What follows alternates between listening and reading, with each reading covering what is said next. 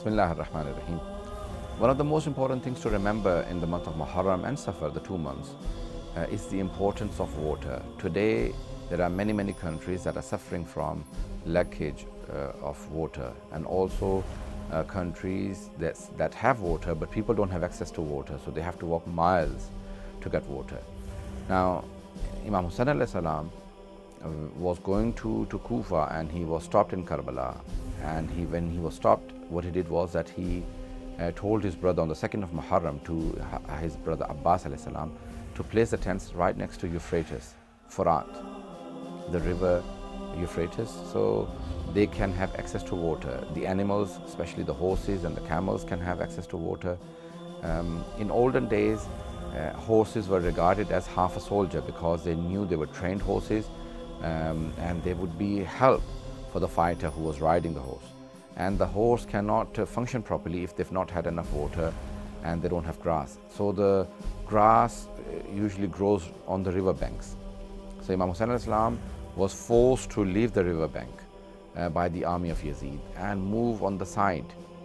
Uh, so they don't have access to water. On the 2nd of Muharram, they were forced out from the riverbanks.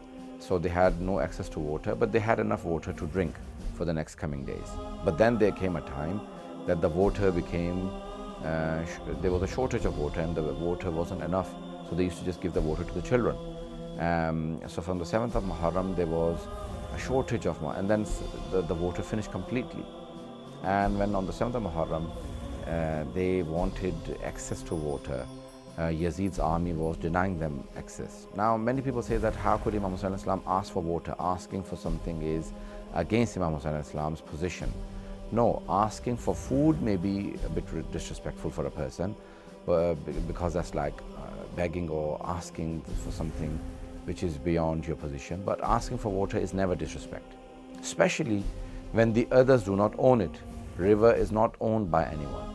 It was flowing water and it was river that he was asking uh, uh, for access to. He was asking that give me access to the, to the river, we'll drink water ourselves.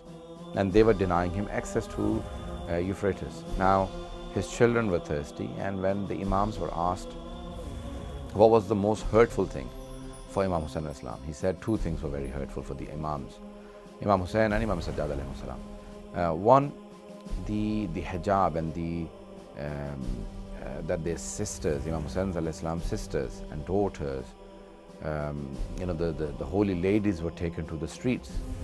They were taken to the um, bazaars of uh, uh, Kufa and Damascus.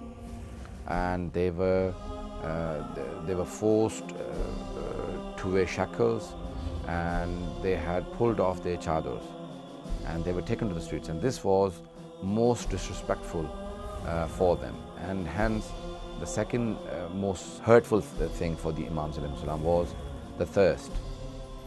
That the children even were crying al-atash, al-atash. Atash is in Arabic that the children are saying that we are thirsty, we want water and everyone was asking for water, but they were uh, disregarded. So therefore, in the month of Muharram, through the world, the uh, the followers of Imam Islam try and supply water to the people, especially in the countries.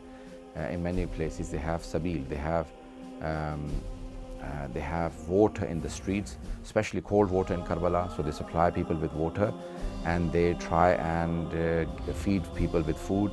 Uh, but water is the most important thing that is given to everyone in the month of Muharram and Safar. Thank you.